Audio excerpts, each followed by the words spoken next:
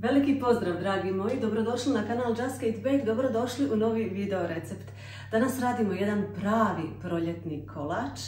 U pitanju su jagode, lisnato tijesto, kolač se jako lako i jednostavno i brzo radi, osvježavajući je, onako e, jako je lijep na stolu, dodaje taj tračak proljetne vesele boje.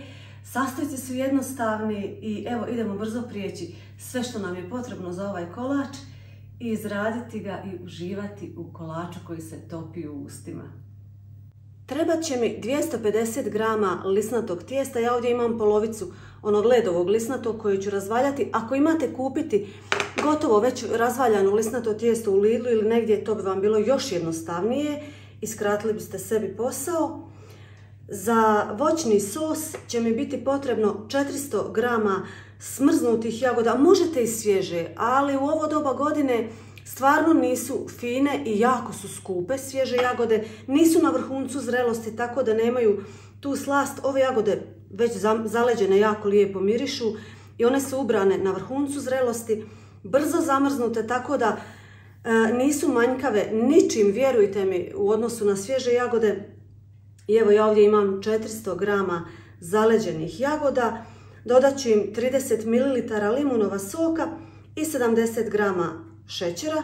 Sve ću to skuhati u jedan onako gusti sos koji ću ostaviti sa strane dok izradim kremu. Za kremu će mi trebati 300 grama krem sira. Ja sam ovdje kombinirala 250 grama mascarpone i 50 grama ABC sira. Možete sve mascarpone, ja tako sebi kombiniram ovisno od toga što imam u kući. E, ovdje mi je 40 grama šećera u prahu. E, prije toga ću razmutiti 6 grama želatine sa 30 ml vode da nabubri.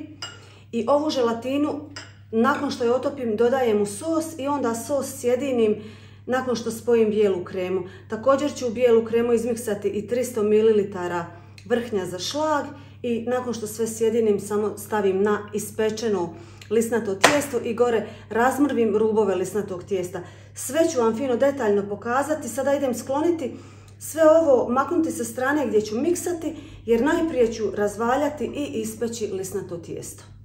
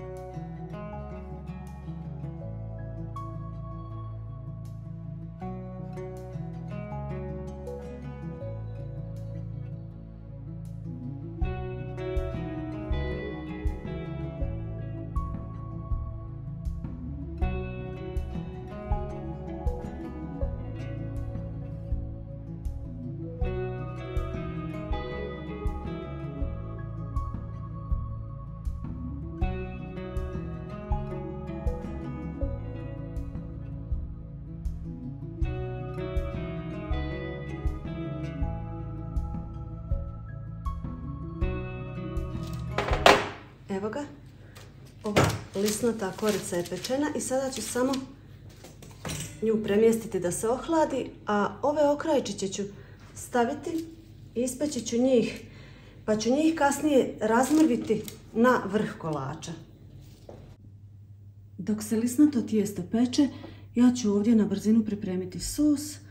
Znači dodat ću jagodama 70 grama šećera, 30 ml limunova soka i pustit ću fino da se sve skupa onako prokrčka, prokuha dovoljno dok se lagano ne zgusne, znači ne do kraja da mi uvrije sva tekućina, nego onako fino da dobijem kao nekakav gusti, onako kao džemasti ovaj, sos.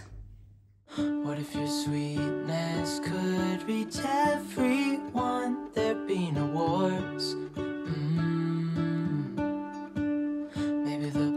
Birds will about your heart. Maybe the Evo ga i ovaj sos je kuhan. Sada ću samo želatinu preliti hladnom vodom. Promiješati i ostaviti da nabubri. I nakon što nabubri dodat ću je ovom sosu. I onda ću sve dodati kombinaciji krem sira i tučenog vrhnja.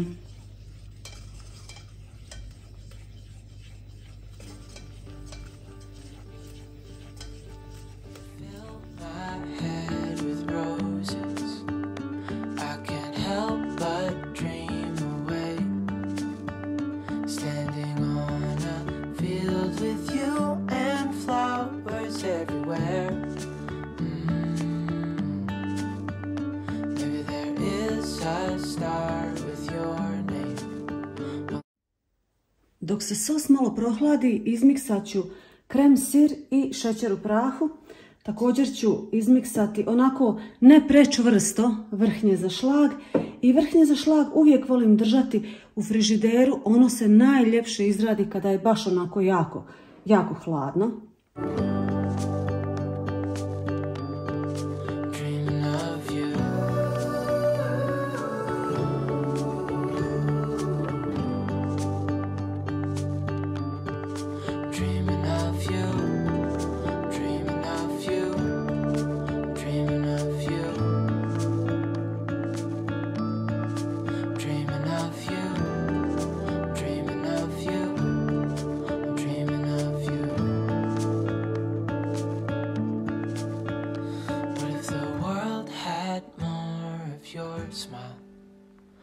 If the wind could spread your love?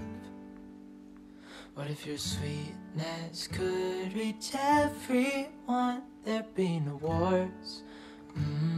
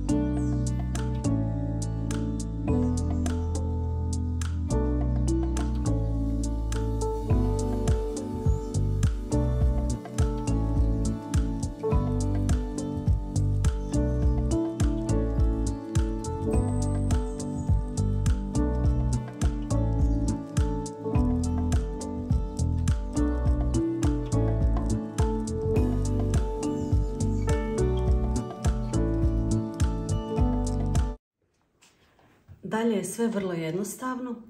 Znači stavit ću ovu donju koru. Oko nje ću staviti ovaj prilagodljivi obruč.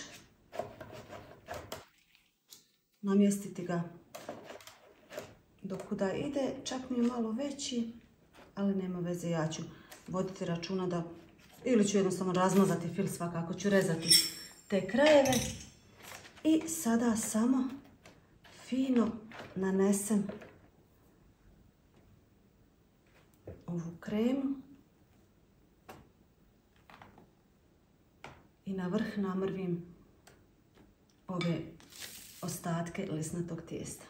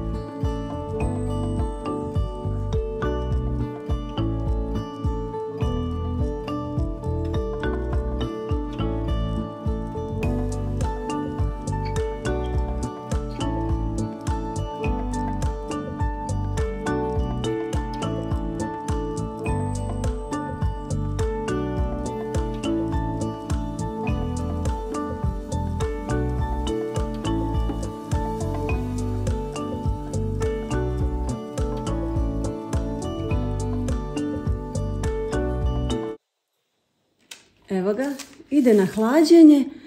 Idealno bi bilo kao i uvijek preko noći, ali za ovaj kolač čisto da se želatina stegne dovoljno i nekih par sati. Hajde, dajte mu tri sata. I ono što je savršeno je da djeca stvarno obožavaju ovaj kolač, zato što je istovremeno hrskav i kremast i kao da jedu neku onako finu jogobelicu. Tako da, evo, ako vam djeca baš ne vole kolače, pokušajte sa ovim kolačem. Vjerujem da će im se svidjeti.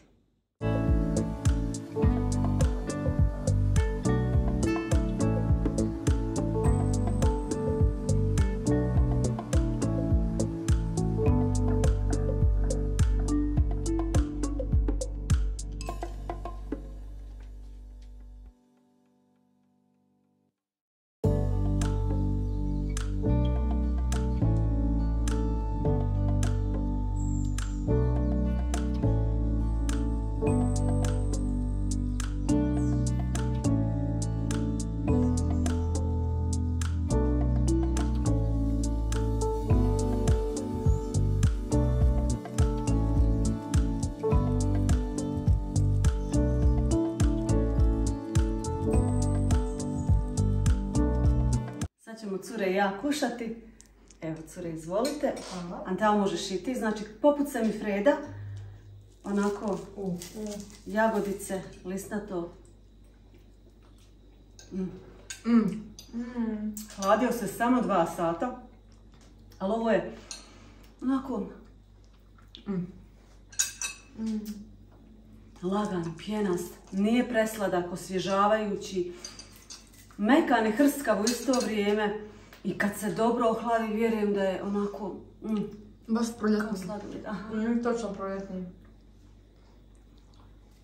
Vuče li vam na jogobelo od jagode? Je. Jako. Samo o, Jogobela ima one komadiće, ali tako? Ovdje isto, do duše ja sam pokušala što više njih promiješati dobro da, da se te jagode onako u onaj sos skroz umiješaju da ne bude komada. E sad, u sezoni svježeg voća zašto ne dodati komade kockice svježih jagoda pa da bude još bogatiji i voćniji. Ili ako imate, ja sad već onako po zamrzivaču čistim prije proljeća sve ovo što sam imala smrznuto. Imam još domaćih kupina, probat ću jedan dan varijantu i sa kupinama napraviti. Za čas posla je gotovo, malo mascarponea, malo vrhnja i sve povežete i super. Ako želite da je čvršći, vi možete dodati još želatine, iako ja ne bih, jer ovako je stabilan u isto vrijeme, a u isto vrijeme i pjenast. I onda... Mm. Cure, Moram reći, desetka, jedna fina ljetna. Jedna fina proljetna desetkica, zato I što je i lagan za napraviti, i lagan za jesti, i nema evo alergena, barem ovih koji Ante smetaju pa i ona sad jede. E, onako, više varijanti e, onoga što želim u kolaču pokriva, tako da definitivno zaslužuje desetku. Idemo sada još dočekati tatu da čujemo onda njegovo mišljenje i to će biti to. Sve vas ljubim, sve vas pozdravljam, družimo se i dalje u nekim novim receptima. Puse, čao! Ćao! Evo samo da, da dojavimo po običaju ocjenu od gospodina koji voli samo čokoladu. Vadi ga lisnato 8,5. Jagoda je lisnato, a da je gore još tamo zera čokolade je bilo. ba- Jagode umočiti čokoladu postaviti. E, E, to je bilo. ljudi, pozdrav, čao.